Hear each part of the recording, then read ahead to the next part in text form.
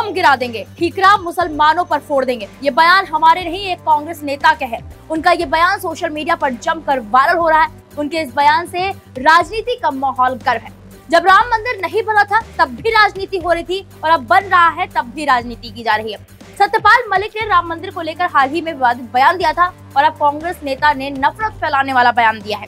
अगले साल, यानी 2024 में राम मंदिर का उद्घाटन होना तय माना जा रहा है। अगले साल लोकसभा चुनाव भी होने वाले हैं। इसी बीच कर्नाटक कांग्रेस के विधायक बी आर पाटिल ने भाजपा पर निशाना साधते हुए एक विवादित बयान दे दिया है। दरअसल कर्नाटक के कांग्रेस विधायक बी आर पाटिल के एक बयान पर देश भर में राजनीतिक बवाल मचा हुआ है। उधर कर्नाटक भाजपा की ओर से कांग्रेस विधायक बी आर पाटिल का वीडियो सोशल मीडिया पर शेयर किया गया है।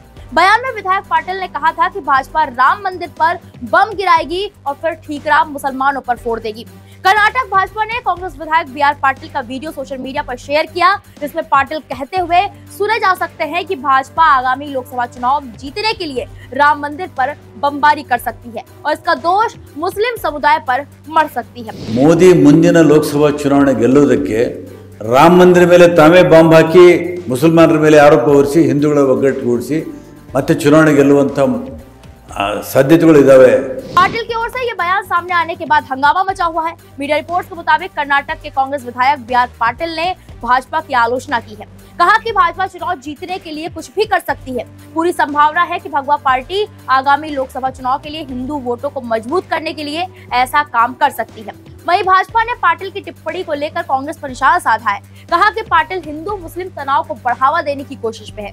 एक मीडिया रिपोर्ट में कहा गया कि अभी तक ये स्पष्ट नहीं हो पाया है कि बी आर पाटिल का ये बयान कब का है। लेकिन वीडियो सामने आने के बाद भाजपा आक्रामक और हमलावर हो गई है। भाजपा की ओर से कहा गया कि हिंदुत्व की भावना को भड़काने वाला बयान है। बता दें कि कर्नाटक में कुल 28 लोकसभा सीटें हैं। 2019 के लोकसभा चुनाव में भाजपा ने इनमें से 25 सीटों पर जीत हासिल की थी। फ़िलहाल पूरे मामले पर आपकी जो भी राय है, हमें कमेंट बॉक्स में जाकर ज़रूर बताएँ। वीके न्यूज़, राष्ट्र के नाम।